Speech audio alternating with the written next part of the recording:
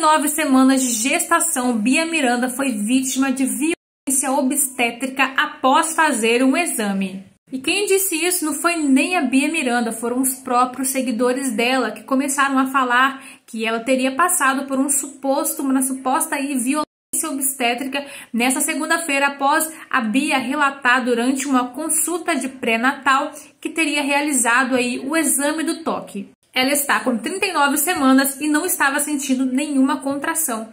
Só que ela afirmou que passou a sentir muitas dores após esse procedimento aí que a profissional de saúde acabou fazendo nela, que foi o exame do toque. E para quem não sabe, esse exame do toque, gente, é para analisar o colo do útero da gestante. E depois da Bia Miranda fazer uns stories relatando aí sobre esse momento que ela passou e que ela já está começando a sentir cólicas, os internautas começaram a comentar um milhão de coisas e entre eles começaram a dizer que ela sofreu a violência e nem sabe.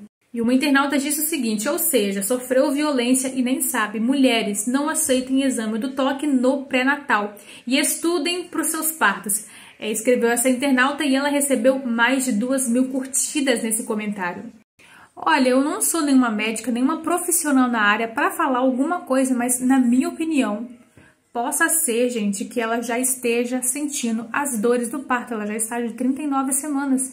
E o fato dela já estar sentindo dor pode sim ter a ver com o, toque ali que ela recebeu, mas já está na hora mesmo dela começar a sentir essas dores para ganhar o seu bebê. E eu também, sinceramente, não vejo problema nenhum é nessa questão do médico ter que fazer o toque na gestante. Eu mesma, que com é, três, cinco, cinco ou seis meses de gestação, eu descobri que o colo do meu útero já estava se rompendo. E dali até o final da gestação, eu tive que todo pré-natal fazer o toque para saber como estava o colo do meu útero. E estava correndo risco do meu bebê nascer a qualquer momento. E nesse caso da Bia, eu, na minha visão, na minha opinião, eu não vejo que esse toque aí foi um, uma violência obstétrica, não.